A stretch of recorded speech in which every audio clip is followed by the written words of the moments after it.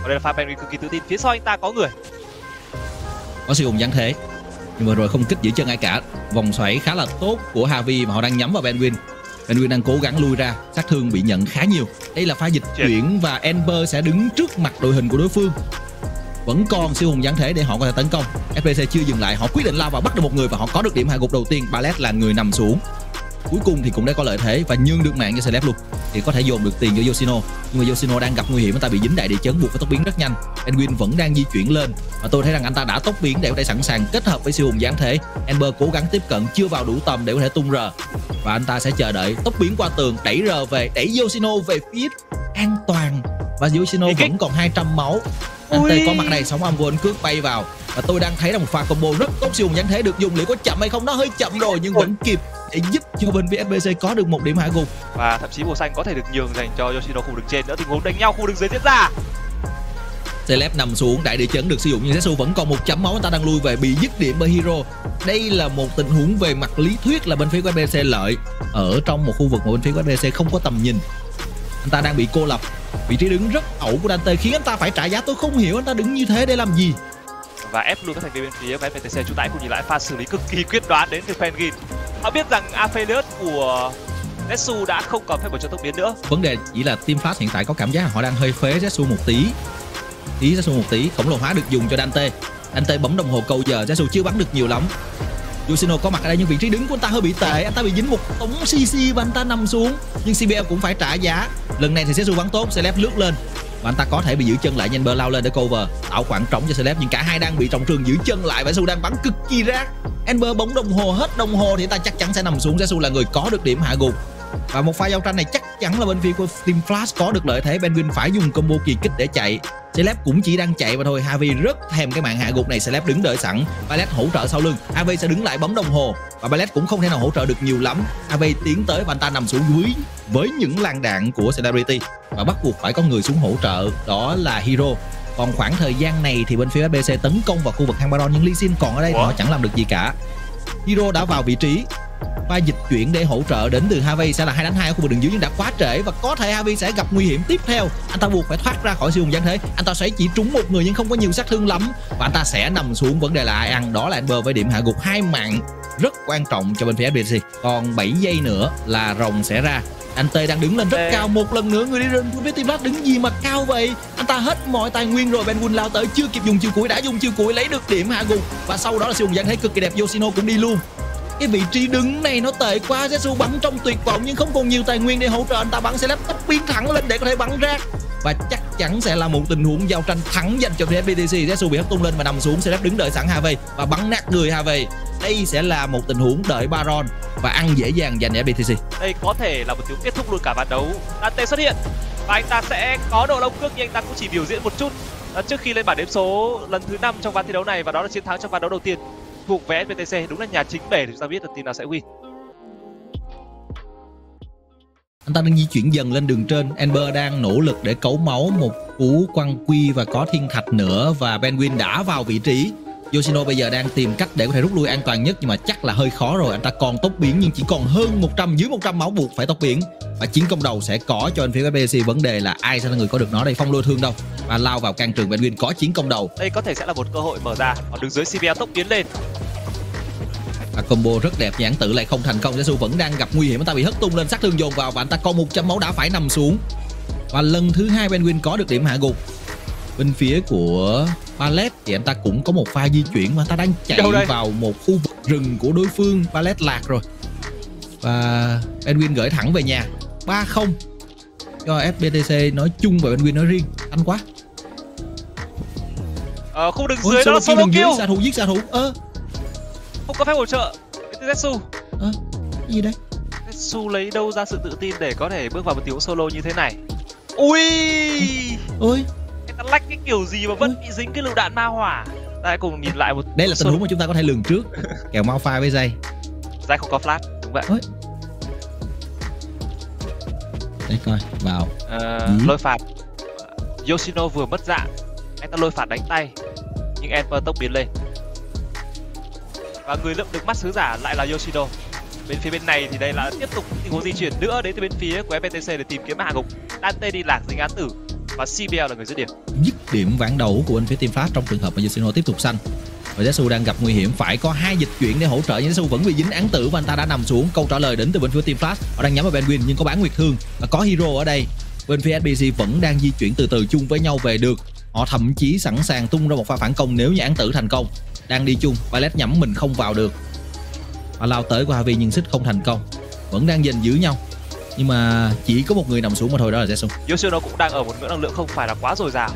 Và vừa rồi là dòng thuộc Không về thể cản phá hai người. SBTV tràn vào và rất nhiều khoảng trống Celeb đang hưng phấn anh ta sẽ bắn tốt trong trường hợp này khi mà không còn nhiều mối đe dọa nữa. Và đây là một thời điểm mà bên phía của FPC họ đã chủ động hơn họ làm rất nhanh pha tấn công. Và phần thưởng dành cho họ sẽ là trụ một ở khu vực đường giữa bây giờ thì ở đường trên là một tình huống dịch chuyển lên. Cả hai bên đều tung dịch chuyển ở đường trên nhưng đã Solo có một pha kill. solo kill trước đó khi mà Hero dứt điểm được AV và nó khiến cho Yoshino đang ở trong tình thế nguy hiểm và double kill dành cho Hero. Hai mạng cho SBDC Penguin đang lao vào tấn công của Zetsu người không còn phép bổ trợ nữa. Sát thương của con Shinzao này là khá nhiều tên lửa đạn đạo siêu khủng khiếp. Nó không trúng. Zetsu có hạt không nổ nhưng đã bị đánh. Penguin đã đánh trước à hay là Zetsu chủ động đánh để bay người vậy tôi không biết nữa, nhưng mà Penguin đang gặp nguy hiểm, bán người thương được dùng nhưng mà ta chấp vẫn chưa có thể sống sót. Và cuối cùng cũng kịp sống sót. Hiện tại thì Celeb gần 3 món thì chắc là cũng có đủ sát thương để dứt điểm cái trụ này trong một nhịp mà đối phương bê về hết.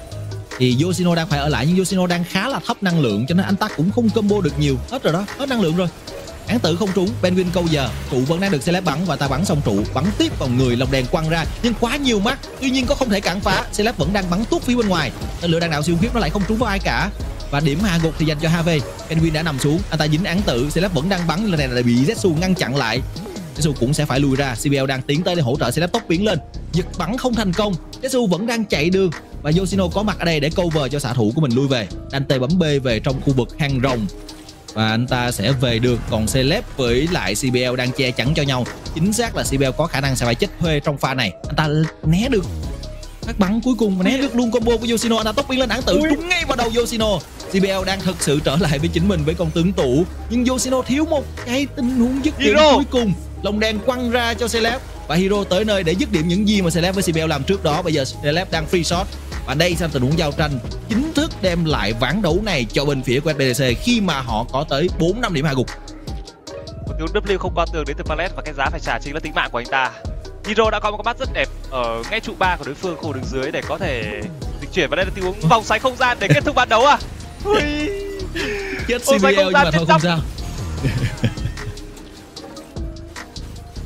Thí thí Vẫn thí, là thí thành công thôi thì ờ, tôi nghĩ rằng lào nó cũng yên lòng nhắm mắt, tại vì dù gì đây là một pha nổ hũ mà dù hũ cũng hơi nhỏ thôi, nhưng nó là cần thiết để cho FPTC kết thúc giai đoạn lượt đi với 3 thắng lợi. Một pha ăn sứ giả. Và Emper đang là người đứng ngay bên cạnh để rình rập nhưng Ego lựa chọn mục tiêu tấn công ở khu vực đường giữa và Hero đã kịp thời rút lui ngược trở về Dyna lao thẳng vào và có thêm trận chối. Tuyệt mạnh để chạy về nhưng đó là shutdown dành cho dây và Yano bắt buộc phải quay đầu bỏ chạy ý lực để làm trận. Nhưng Penguin còn dư bộ chiêu thức của mình. Khu đường dưới thì Artemis đã phải lên màn điểm số và đó là double kill dành cho Emperor. SE đang lấy lại những lợi thế, tiếp tục làm một điểm hạ gục nữa. Và sẽ có rất nhiều replay cần phải trình chiếu lại để cho các bạn khán giả có thể mãn nhãn với những pha thi đấu từ nay đến giờ của thành viên đội tuyển SE và sau đó tạo điều kiện để cho Yasuo của Hero có thể thực hiện cú chăn chối cực kỳ là đẹp. Và khung đường dưới, bộ đôi chủ động đánh đó chính là Ronopi cộng với đó là Artemis. Nhưng về, xét về khả năng tổn sát thương, bạn không thể nào bị được bằng so với Lucian cộng với đó là Karma. Là những tình huống giao tranh kiểu nhỏ lẻ như vậy. Hero đang là đích đến và Roropi có thể sẽ là người chống chịu sát thương đến từ chủ cũng dịch chuyển đến từ Esper. Nhưng dịch chuyển với Esper thì khá mạo hiểm và tốc biến nhanh tay đến từ Hero quay ngược trở lại. Và quả thực Esper đã là người phải nằm tiếp theo đó là cả à, Hero nữa. Ragat tiến xuống với tung dấu nổ đẩy văng Penguin về, về và đó là cú trăng mờ. Rất tệ đến từ Penguin. Ego bắt được bóng và Ego quyết định rút lui ngược trở lại sau khi anh ta bị dính loạt thanh trừng đến từ Serapity một cách khá chất lượng. E flash trượt ở phía cũng đã kịp thời đầu tư một cú tốc biến để rút lui thật nhanh trước tầm nguy hiểm. Và đó lại là thêm một pha quét sạch nữa. Dành cho Cerberus lại có giao tranh. Và lần này người bắt đó là vị trí của Ego anh ta còn đó giáp thiên thần và ngay sau đó đã double kill dành cho Ego thậm chí chưa mất giáp thiên thần, anh ta quay trở về với dạng của các ma và Celeb bây giờ 1.4 anh ta không thể nào làm được gì cả triple kill dành cho Ego và trash của Rolopi có thể gâu thêm thời gian. Tốc biến lên chói rất tốt từ CBL mục tiêu tấn công là Rolopi sẽ phải nằm xuống và chiến công đầu là dành cho CBL và đối phương chưa thể nào có thể lường trước được. Và tôi nghĩ rằng điều đó đến từ cái khả năng là hack đồ à là mua đồ mà không cần về nhà đến Enter nữa. Pha này thì Pun hình như chưa về nhà để bổ sung thêm trang bị được thì phải. Và anh ta đánh nhau với đối phương mà anh thua trang bị và kể cả khi đã bật cho mình đó, thần cá sâu lên chăng nữa thì lượng sát thương đến từ on. Khi mà đánh dạng nóng giòn hai lần liên tiếp với những tình huống sử dụng hỏa diệu triệu cộng thêm với cả thổi bế nữa lượng sát thương quá lớn để cho cùn có thể chịu đựng được. Và tăng em tức bị dính một pha solo kill ở khu vực trên. Án tử bị dính trên đèn, vẫn quyết định đù vào đến từ Rodopi, thả luôn lồng đèn dành cho Artemis bởi vì đã có cấp độ 6 một tình huống giật bắn chúng là có thể tung ra tên lửa đạn đạo siêu khiếp nhưng nó trượt bóng tối thành công và bây giờ đến Rodopi là người dẫm bẫy. Trừ rất nhiều đến từ Ketlin và đó là màn gục dành cho Celeb. Ba là CBL thuộc về NBTC rất kinh khủng với những cú khóa mà CBL tung ra trong khoảng dân gần đây. Quá khủng khiếp đến từ Celeb và anh ta là người ăn được mạng. Vẫn là CBL vẫn là, là CBL thứ mà Eagle cần hiện tại là những điểm hạ gục mà tôi sẽ bị bắn bởi Artemis. Khả năng chơi rất rất tốt đến từ Artemis và đó là tên lửa đạn đạo được thả ra ngay lập tức để kéo máu đối phương. Zed quay ngược trở lại một pha giật lưới 90 trượt. À play rất tốt đến từ Artemis, nhưng anh ta gặp nguy hiểm. Nỗ long cước là có. Anh ta đạp và cạp cạp nhưng anh ta vẫn kịp thời tung ra cú bổ ảnh cước. Người đang bị trụ lại là CBL anh ta đầu tư tốc biến, anh ta thoát ra được. Phía bên kia người lao vào là Penguin. Và có thêm cả hero hỗ trợ những đồng đội của mình. Khi anh ta vẫn còn một sát chiêu hoàn hảo lần này nữa, kích hoạt luôn cú chiều cuối bão điện tử của mình và đó là quả pha, quả bóng tối không chuẩn chỉ. Eagle lao lên rất cao nhưng bị đá ngược trở lại. Anh ta kích hoạt tuyệt mệnh để rút lui về Richten là người đâm vào được trong mục tiêu là Hero. Bị khóa bóng tối bởi CBL có thêm chói hồn và có dê được thả ra. Con dê húc trúng vào Yado nhưng không có ai tận dụng được cơ hội này cả. Và SE đang dần dần tiến ra. Họ có thể cắm mắt xuống để kiểm tra. Và họ đã biết đối phương ăn Baron nhưng Lee Sin còn ở rất xa. Kali bắt buộc phải lao xuống để phá bĩnh đã có Baron dành cho Cerberus Esports và Hero. Anh ta tràn thẳng vào cùng thành công Thresh, rồi sau đấy anh ta không rút ra nổi. Igo bắt được bóng. Igo đang cố gắng lao vào. Họ gục thành công được Igo và Penguin bắt buộc phải lùi ngược trở về Emperor tới. Anh ta có hỏa dư ở chiều. Anh ta gọi dê. Anh ta thực hiện cú hút của mình. Và nó không hất tung thành công được Artemis. Vấn đề là hiện tại đang không có hỏa dư hiệu chiều đến từ on của Emperor và hiện tại thì nếu như để xét về những tình huống đâm thẳng vào và chống chịu đến Jennifer nó cũng sẽ không đáng quá đáng kể. Vì Jinx cũng đã hoàn thành xong được cái nỏ thần Dominic Eagle là người bị giết lại. Anh ta kịp thời bấm lồng đèn ta quay ngược trở lại và Penguin lại là người mắc sai lầm vị trí. Anh ta đâm vào hơi sâu Eagle kích đồng hồ. Eagle vẫn sống. Hero phía bên kia đang lựa chọn một tấn công là I, là Eagle và anh ta hạ gục thành công được đối thủ.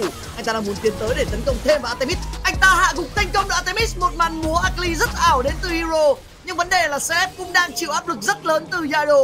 Và Yado sẽ hạ gục thành công được xạ thủ đối phương. Chắc chắn là như vậy. Hiro đang lùi lại và anh ta kịp thời kích hoạt một phóng phi tiêu của mình để kéo giãn khoảng cách so với Ronopi phía bên kia. Người bị giữ chân và bị đá ngược trở về là Yado! Yado còn một cầu, Yado tốc biến! Yado lùi về được Penguin mất đồng hồ bên này pun tràn vào Pun đang dẫm bẫy. Rất nhiều sát thương được gây ra bởi Caitlyn của Celeb và có thêm giữ chân. Celeb được bắn mất sát tinh thần nhưng sẽ có thêm bẫy và đứng lên đến từ giáp thần sát thương dồn vào từ Celeb vẫn là chưa đủ. Là đâm thẳng vào đến từ Ropi và Ego tràn vào thêm lần nữa. Celeb không qua đủ cơn bí cực này và anh ta nằm xuống.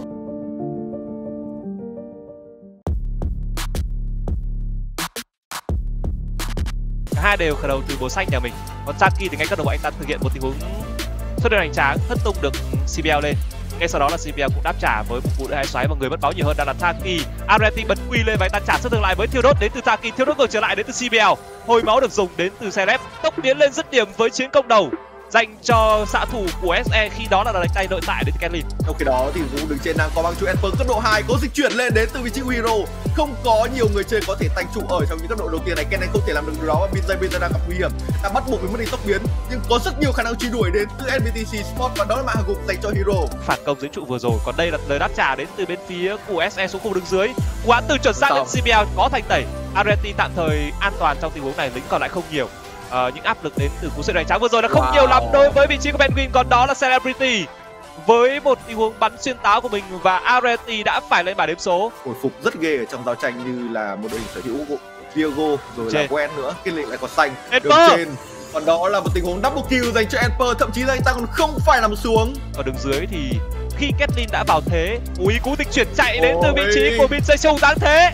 Và có cả làm choáng nữa mà. 6-0 dành cho bên phía của SBTC Esports khi ở khu vực đường dưới đã có ba hạ gục trong tình huống 2 vs 2 Areti chưa dừng lại đó. là người nằm xuống và thêm cả Binjay di chuyển xuống thì anh ta cũng có thêm một mạng nữa dành cho bên phía của SE 70 rồi. Anh ta cũng có thể tấn công lên khu vực trên nơi mà cái này của Hazmet vẫn chưa có lại phép một trận tốc biến. Cú chiêu cuối của Hazmet còn anh ta đã có xử lý bằng một tình huống tốc độ sấm sét nhưng có tới ba thành viên của SE khi Hero sử dụng luôn cả siêu giáng thế cho Jacob và ma gục rơi vào tay của Penguin sải tay cực kỳ dài và làm choáng thành công. Có thể án tử và sát thương rất nhiều pin giấy bắt buộc và mất đi cho mình, đó là bán người thương. Nhưng sát thương đến từ penguin thì anh ta không đỡ được. Penguin mất rất nhiều máu, anh ta bắt buộc phải mất đi tốc biến để có thể lùi về.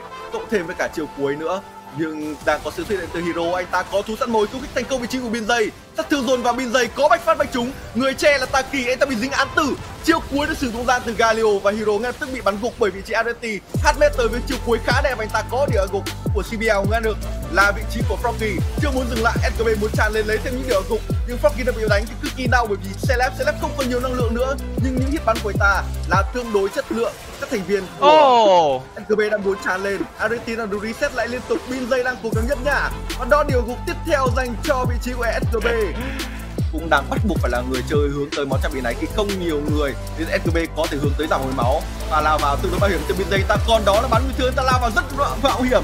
Nhưng người nằm xuống đó là Penguin dinh của Arity đang được bắn thoải mái nhưng Emper đang có sự làm bất bại. Nhưng khi hết sự làm bất bại anh ta bị bắn cực kỳ đau. Hasmet lao vào rất sâu anh ta thoát về với một máu nhưng Vin thì không được may mắn như vậy. Arity bị bắn rát bởi vị trí Celebrity và anh ta phải lướt đi với cung phong linh. Và giao tranh thắng lợi dành cho các thành viên của BT Sport và họ đang chặn vào đường giữa của đối phương à, SE đang đánh mạnh hơn và Froggy vẫn đang chưa bị lộ vị trí. Người bị bắt lại đang là wow. vị trí của Binjay ta mất tầm nửa cây máu nhưng Hero đang hơi đơn độc. Một mình Penguin ở phía sau không hỗ trợ được gì nhiều cả. Celeb bị tấn công bởi Froggy và anh ta chỉ còn lại một chấm máu mà thôi. Quán từ chuẩn xác đến từ CPL giữ chân được Froggy lại Froggy tốc biến chạy. Tên lửa đạn đạo không đủ sát thương. Nhưng trước đó thì Arenti đã bắn hạ được Hero khi Hero đâm vào quá sâu. Emper xuống sau cú dịch chuyển và anh ta cắt liên tục vào người Taki sát thương đã đủ. Sát thương rất lớn đến từ Emper vẫn đang tiếp tục được gây ra và Binjay kể cả có bắn bị thương anh ta cũng chịu không nổi. Anh ta vẫn đang chống chịu tạm thời là ổn. Anh ta lên bảng đến số thật đấy, nhưng cái Arenti đang được free shot ở phía sau. CPL đang là người duy nhất còn lại ở trong tình huống này và Celeb đã hồi máu lại nhiều rồi. Tầm nửa cây anh ta bắn trả và sát thương rất lớn nhưng cú lưới chiến vệ của anh ta trượt. Một pha đạp bay đến từ Hasbet khiến anh ta bị bắn một đòn nội tại rất đau bởi Celeb. Celeb rất cùng phòng linh tìm kiếm Areti. Phía sau anh ta đang là Froggy sau cú dịch chuyển trở lại. Và Froggy liệu rằng có cứu Areti đây? Câu trả lời là không. Và kể cả Froggy cũng có thể gặp nguy hiểm trong tình huống này. Anh ta hạ gục thành công được xạ thủ của đối phương. Anh ta bấm đồng hồ và một tiếng giao tranh rất dài hơi diễn ra mỗi bên đều có được rất nhiều ba gục đồng ý và bây giờ FGB đang chưa muốn giữ lại chỉ một con rồng họ đang muốn tràn vào khu đường giữa đối phương. Froggy tạo ra rất nhiều áp lực máu mất rất nhiều đó là CBL ăn thêm tên lửa đạn theo khủng khiếp tạm thời vẫn còn máu để có thể lùi về. Và cứ kích tương đối đẹp Celebrity đang có khoảng trống bắn nhưng Arenti cũng như vậy. Vụ, vụ đó sát thương đến từ hai người chơi xạ thủ và có vẻ như Arenti là người bắn tốt hơn. Và bây giờ thì đó là chiêu cuối được vận ra đến từ Celeb anh ta có được điểm gục đến từ biên giới. Double kill đã có dành cho Celeb Emper có rất nhiều sát thương. Celeb được thoải mái kill! sau. Triple kill và đó là quadra kill dành cho xạ thủ của MBTC Sport. Và đó sẽ là con Baron dành cho MBT Sport mà thôi. Sau pha giao tranh thắng lợi trước các thành viên của SKB đây đang là thế 4-1 đang được triển khai đến từ bên phía của SKB xin lỗi đó là SBTC Sport.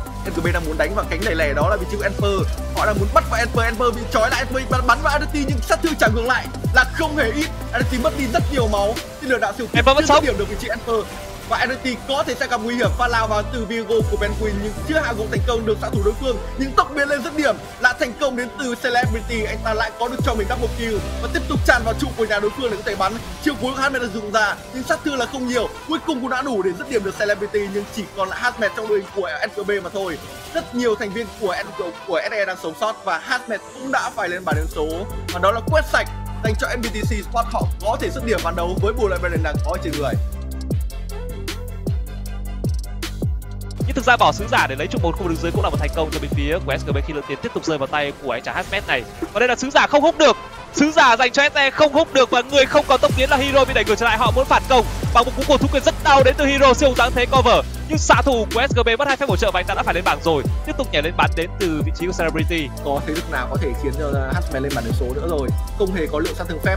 Có ổn định đến từ đội hình của SE và bây giờ Emper đang là người ờ... bắt lại. Bin dây cùng với Frankie đang đánh vào người anh ta. Vì khiêu khích rất nhiều sát thương dồn vào. Nhưng sát thương chẳng ngược lại từ Emper cũng là khá ấn tượng và Emper đang cố gắng quẩy anh ta bị dính thiêu đốt ở trên người và rách của Hatman đã tới và anh ta quẩy hết toàn bộ đội hình đến từ bên phía của SE không? phản công nhưng anh ta hết phản công rồi đây là cơ hội cho Celeb có thể được bắn. Nhưng đó là double kill dành cho vị trí của Froggy. Celeb đang bắn rất nỗ lực ở tuyến sau nhưng Arity cũng có được điều tương tự. Anh ta bắn còn đau hơn so với celeb tương đối nhiều. Quay trở lại dạng oh! và đó là điểm cứu đổi mạng thành công đến từ vị trí hero. Nhưng danh của Handmed chưa muốn buông tha ta đang tìm kiếm địa ngục cuối cùng của celebrity nhưng không cần thiết nữa. Đó vẫn là pha giao tranh. Trong khi đó thì trụ đường trên với sự cover của Froggy thì Handmed không có khó khăn gì trong việc lấy nó cả. Anh ta đang 1.4 thậm chí là 1.5 trong đường của đối phương. Anh ta có siêu vùng trong rằng thế đến từ cái đồng đội của mình. Và anh ta vẫn đang cân được kích hoạt Rất thành công của mình đó là cái máu của Serac và tiếp tục gõ vào từng thành viên một của đội hình Bất tử rồi. Ahmed đang làm hết trong pha giao tranh này. Taki có cho mình chiêu cuối nhưng anh ta lao vào trụ hơi sâu. Anh ta làm choáng thành công vào vị trí của Celebrity và đó là thần thánh dành cho Ahmed anh ta chưa muốn dừng lại tiếp tục tràn vào bệ đá của đối phương và bổ vào đầu từng thành viên của NBT Sport double kill dành cho anh ta sử dụng hết năng lượng của mình trong pha giao tranh vừa rồi. Và đây sẽ là pha đẩy endgame dành cho SGB và đó là một đều sau khi hai ván thi đấu cái giải băng được tỏa ra đó là một sức mạnh rất lớn trong những thú giao tranh tổng. Còn khu vực trên thì Penguin di chuyển lên với thú săn mồi anh ta hỗ trợ cho Emperor trong việc hạ gục thành công được Hasmet một pha khai thác tốt như đường giữa thì BJ cũng đang xuất hiện. Hero cấp độ 5 bị hoảng sợ, phát tốc tiến qua đến từ CBL để hỗ trợ đồng đội của mình. Hero vẫn đang sống sót, người nằm xuống. Là vest của Froggy chiều cuối lưỡi kiếm tiền phòng làm chậm được BJ lại. Đâm quy vào và vẫn còn một lần đâm quy nữa đến từ Hero. Anh ta tức đâm quy vào đánh tay với nhịp độ trên người và sát thương của anh ta là chưa đủ. Và đáp trả đến từ BJ anh ta nằm xuống rồi. Hero là người có được hạ gục trong tình huống vừa rồi. Taki đang cố gắng gỡ gạc Areti đến với nét vẽ chuẩn xác. CPL đang cố gắng rút lui với khoảng chừng 200 máu và không ai bên phía của SE đập xuống cả. Một tiếng phản công dưới trụ xuất sắc đến từ bộ đôi bên phía của FPTC Esports. Cái cánh mà có dây có Irelia và có Lilia đang là cánh mạnh hơn so với SGB chúng ta hãy cùng nhìn lại một pha mà Penguin đứng chờ trong một bụi cỏ mà Hasmet không có tầm nhìn. Và anh ta nằm xuống với một lượng sát thương quá lớn được dồn vào đến từ bộ đôi bên phía của FPTC Esports. Sau đó là một cú khúc rừng thẳm rất may là dj không gặp nguy hiểm trong tình huống này sau khi anh ta bị du ngủ. Và cạnh tranh với đối phương. Còn sứ giả hết đất không còn nhiều máu nữa và nó khả năng cao sẽ nằm trong tay của dj và lao vào một giao tranh đến từ vị trí của CBL có thể phải chiêu cuối đến Irelia đẩy vào nữa, nhưng Hero không còn nhiều năng lượng. Nhưng Selam được bắn thoải mái và anh ta có rất nhiều sát thương. Emper cũng tương tự là như vậy. Và đó là mã gục thứ ba dành cho Emper 72 dành cho bên phía của SE sau 10 sau 10 phút thi đấu. Cung đường trên Hashman mất rất nhiều máu oh. và Penguin đang đứng chờ sẵn anh ta ở phía sau trụ chỉ cần vị trí Emper đẩy lính mà thôi thậm chí cũng chưa cần đó lượng sát thương đến từ một cú quy cộng thêm với chiều cuối không dùng thảm là đủ Ồ, oh, Emper bị tấn công. Emper đã bị tấn công khu vực trên. Đó là cú di chuyển đến Hero lên khu vực trên để cover cho đồng đội của mình. Emper vẫn đang câu giờ và anh ta trả sát thương rất lớn. Pha làm choáng đến Hero chỉ trúng một người nhưng để trúng cuối chỉ trúng cả hai. Anh ta vẫn đang có gây sát thương phía sau của anh ta là Penguin đến với khúc du rừng thẳm. Người yếu máu đang là vị trí của Froggy và anh ta đã nằm rồi. Anh ta đổi mạng thành công với đường giữa đối phương. Ahmed cố gắng gây sát thương ở một chấm máu. Hoàn lướt cung phong linh lên Arenti và tìm kiếm được Penguin rồi. Penguin sẽ phải nằm xuống trong pha này.